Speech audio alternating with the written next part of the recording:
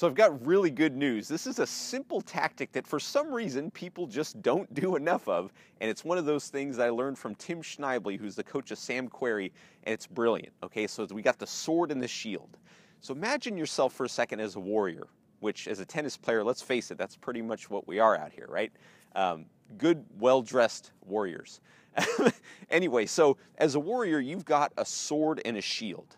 All right, and I want you to think of your sword as the shot that you want to hit when you're creating offense. All right, so for me, it's my forehand. If I'm playing a match and I want to win, uh, the only shot I'm really trying to hit most of the time is the forehand.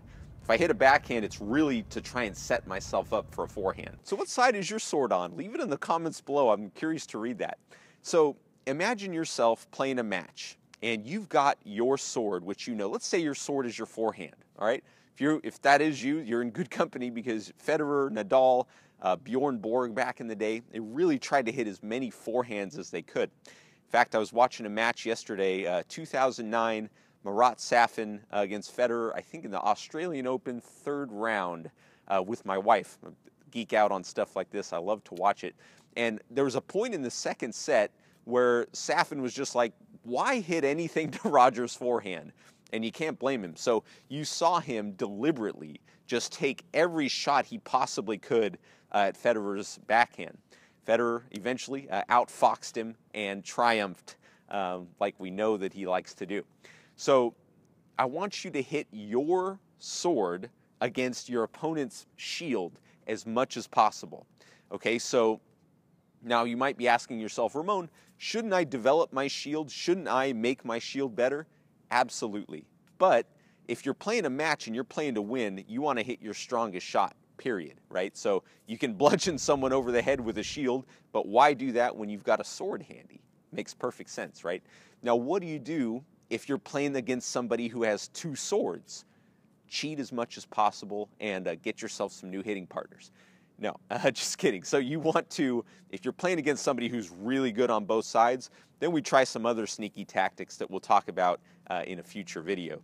And if you're playing against the guy with two shields, which uh, a lot of people call the pusher, um, that's kind of a different animal too, and we're going to talk about what to do in depth uh, to a pusher in a future video. Now this is a bit oversimplified, but not too much. I mean, if you look at Roger and Rafa, the battles that they had over the years, one of the reasons Rafa was able to have so much success against Roger is because Rafa, his movement was so good, he could hit his forehand to Federer's backhand, which incidentally was Rafa's cross-court forehand.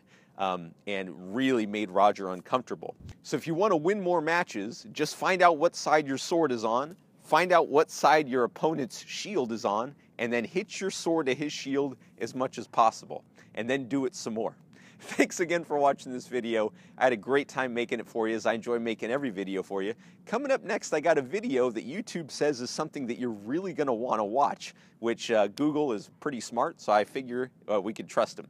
So leave me a comment down below letting me know what side your sword is on and how you can use this knowledge to really go get your opponent next time.